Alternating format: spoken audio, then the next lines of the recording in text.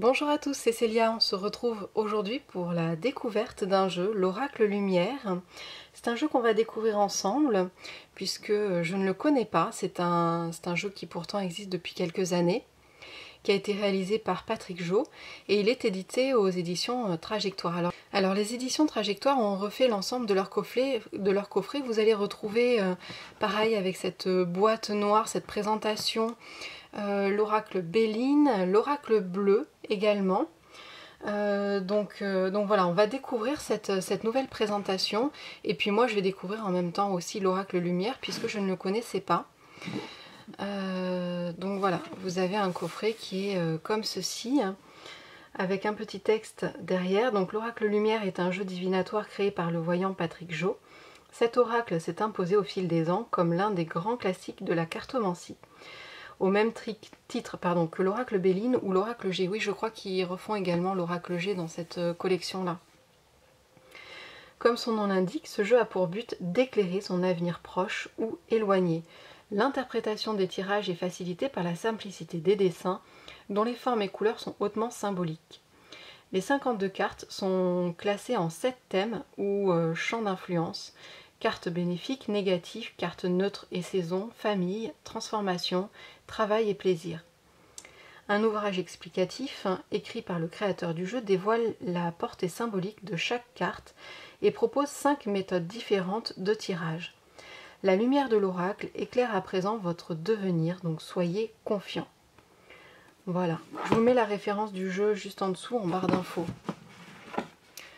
Pour que vous puissiez le trouver facilement. C'est sympa d'avoir fait une tranche rouge, hein, parce que quand l'oracle est fermé, comme ça, on a, euh, bah, on a ce petit rouge là, comme ça, qui ressort. Je trouve ça chouette. Hein.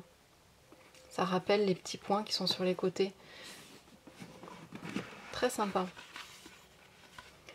Alors, on va avoir donc un livre. Hein. Là, on n'est plus dans le livret, on est dans le livre.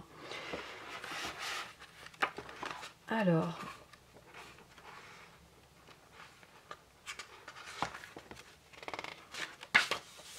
on va avoir euh, une euh, précaution importante pour l'utilisation de votre oracle lumière. L'oracle lumière n'est pas un jeu de cartes ordinaire. L'art divinatoire permet à l'initié d'entrer en relation avec les forces qui régissent ce monde. L'utiliser comme une distraction ou un amusement aura pour effet dans le meilleur des cas de réduire à néant les valeurs des tirages que vous ferez. Mais peut-être aussi avoir des conséquences extrêmement néfastes pour vous. Les quelques conseils que nous donnons dans ce chapitre vous permettront d'utiliser votre oracle lumière dans les meilleures conditions et vous aideront à améliorer la qualité de vos voyances. Sachez tout d'abord que l'oracle de lumière ne se prête pas. Acquérir un jeu peut se comparer à la rencontre d'un musicien et de son violon. De même que l'instrument a une âme, une tonalité, une personnalité qui, vont épouser celle de l'artiste jusqu'à influencer ses interprétations et même votre oracle lumière. De même, votre oracle lumière pardon, va se charger de, ces, de vos ondes. Un lien intime, une, complicité va peu à peu s'établir entre vous. Alors je suis euh, plus ou moins d'accord euh, je pense qu'il y a des jeux qui se prêtent, d'autres qui ne se prêtent pas. Alors celui-ci peut-être ne se, prête pas. En fait, c'est à vous vraiment de voir quel lien vous allez tisser avec votre jeu. Euh, si, euh, bah pareil, si vous l'utilisez un peu en, en, dilettant, du coup, c'est un jeu qui n'aura pas une dimension... comment dire, vous n'allez pas créer un lien très fort, très intime avec lui. Par contre, si c'est un jeu que vous utilisez beaucoup, dans lequel vous vous projetez énormément, c'est vrai que euh, on a du mal à prêter ce genre de jeu. Et si on a du mal à le prêter, c'est qu'il ne faut pas le prêter non plus. Donc, euh, donc voilà, euh, faites, toujours en fonction de ce que vous ressentez. Si vous ressentez que, vous que vous souhaitez garder votre jeu pour vous, eh bien ne, laissez pas les autres y toucher, bien évidemment. Je crois que j'ai jamais prêté un de mes jeux. quand, euh, quand, je fais des tirages, je laisse les autres toucher les cartes.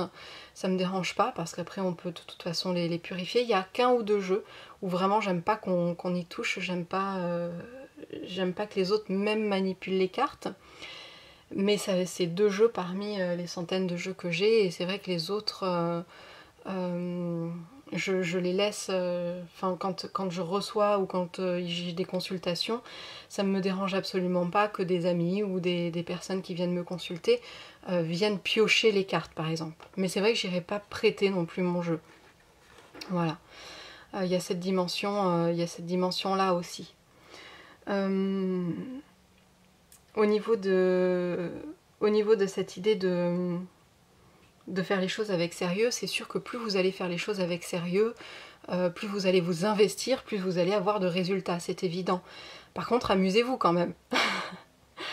Euh, je pense que la vie est faite pour être prise avec légèreté. Je pense pas qu'il faut forcément mettre du sérieux partout et, être trop trop sérieux. Euh, je pense qu'une vie qui n'est pas vécue avec, avec légèreté, avec amusement, euh, bah, on passe à côté de beaucoup de choses et après tout vous avez aussi un jeu entre les mains.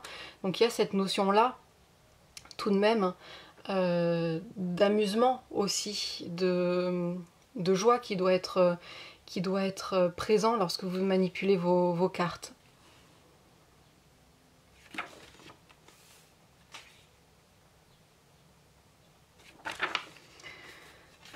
Alors, on a les différents thèmes qui sont présentés, donc les cartes bénéfiques, comme je le disais euh, en lisant le dos, les cartes négatives. Vous avez euh, les cartes neutres, celles des saisons. Là, ici, ce sont les cartes des familles, des transformations, du travail et euh, les plaisirs. Voilà, donc vous avez ici des rappels. Et ensuite, on va vous parler de la symbolique des couleurs donc avec les couleurs chaudes, les couleurs froides, euh, les directions qui sont associées aux couleurs. On va beaucoup plus vous parler, on va beaucoup plus se projeter ici avec le blanc, le rouge, le jaune. Le violet, on a un texte un petit peu plus long justement pour vous présenter chaque couleur. Et ensuite vous arrivez à la présentation des cartes.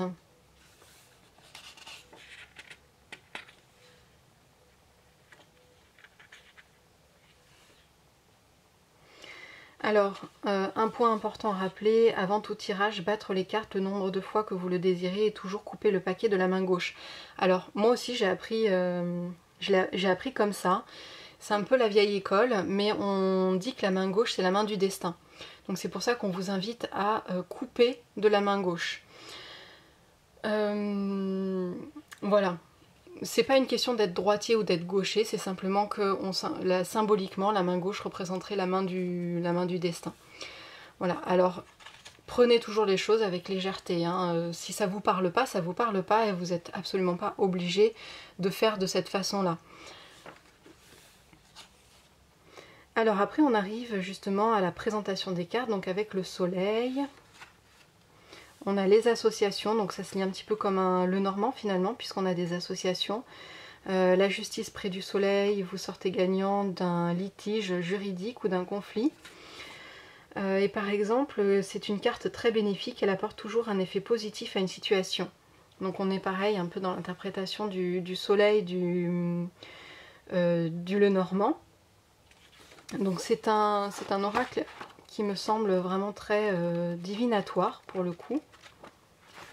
On a des tirages à la fin. Donc ça c'est chouette. On va regarder les cartes et puis euh, on va... Ah c'est des petites cartes. Euh, comme un taille euh, jeu, de, jeu de poker. Comme un le normand du coup. Attendez. J'ai l'impression qu'elles sont un tout petit peu plus grandes qu'un le normand. Non, pareil. Donc ici on a un carton pour tenir les cartes. Et euh, je vais vous ouvrir ça.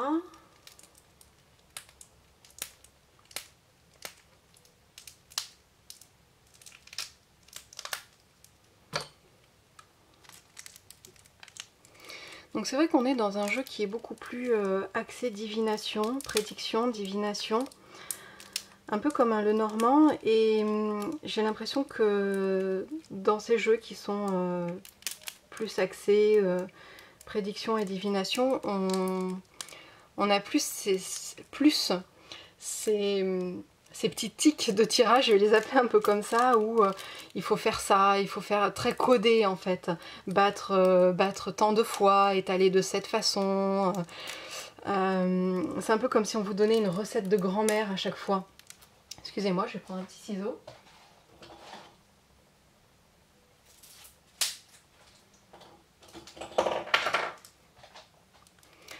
c'est comme si vous avez une méthode absolument à suivre pour réussir et pour toucher votre, avenir du doigt. Euh, bon, moi je suis, euh, suis euh, pas partisane de ça. Moi je suis plus. c'est pour ça aussi que j'aime la guidance ou le, ou, le, développement personnel parce que ça laisse beaucoup plus de place à vous, à qui vous êtes, votre personnalité. Et je pense que je pense qu'on peut faire exactement la même chose pour euh, la prédiction. De toute façon, après l'avoir testé depuis de nombreuses années, je vois bien que ça fonctionne aussi. Même si personnellement, j'ai gardé un peu ce tic de couper de la main gauche, parce que j'ai toujours appris comme ça. Mais en réalité, euh, je vois bien que couper de la main gauche ou pas, euh, ça change rien au tirage. Hein. Donc ça, c'est le dos des cartes.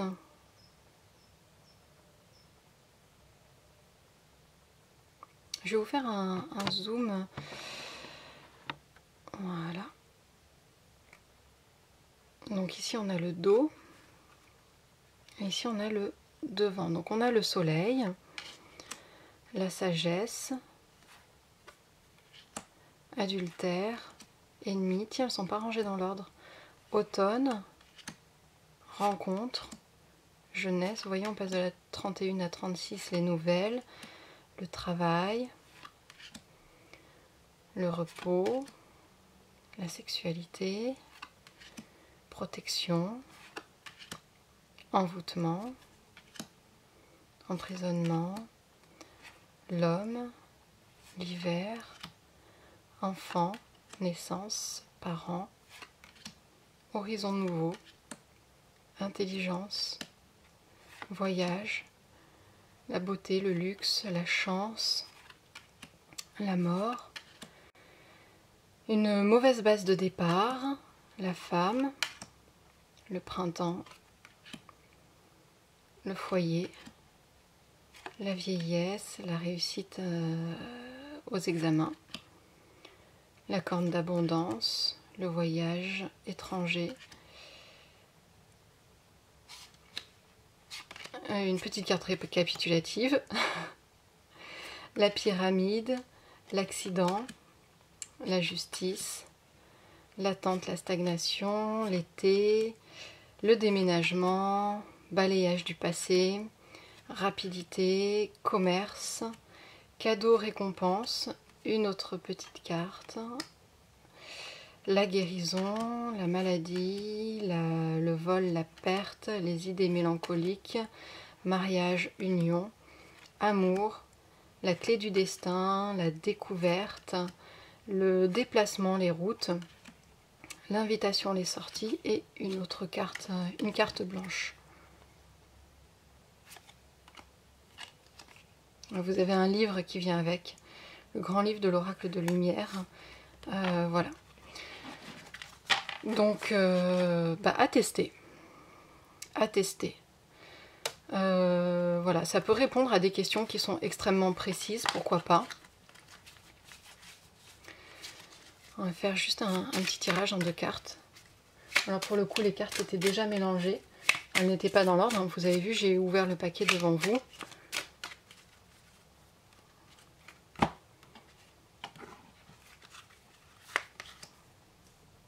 enfant naissance, parents.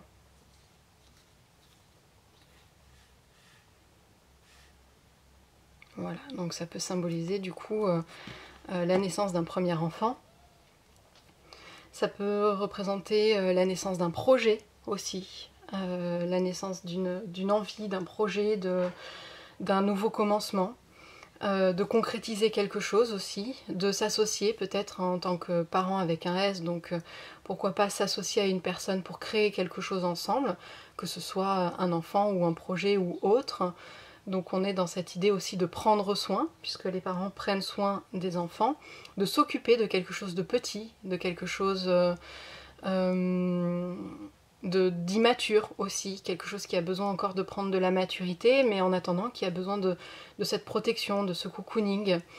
Euh, donc prendre soin, être vigilant, euh, commencer quelque chose de nouveau, pourquoi pas euh, se projeter, pourquoi pas avoir des enfants, jouer avec ses enfants aussi, créer un lien comme ça, parents-enfants, resserrer les liens avec ses propres enfants. voilà, donc Et ici, on a, si on voulait compléter le tirage, horizon nouveau. Donc on est vraiment dans quelque chose d'une de nouveauté. On a vraiment cette idée de nouveauté, euh, comme on pourrait l'avoir avec la carte du printemps. Euh, de créer quelque chose qui n'existait pas encore en fait, et de, lui donner vie et de s'en occuper puisque on a cette idée que c'est quelque chose qui va encore être immature euh, au début.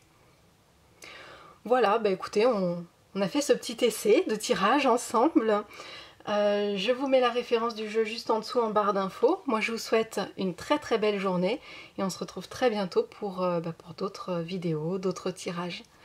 Bye bye, prenez bien soin de vous.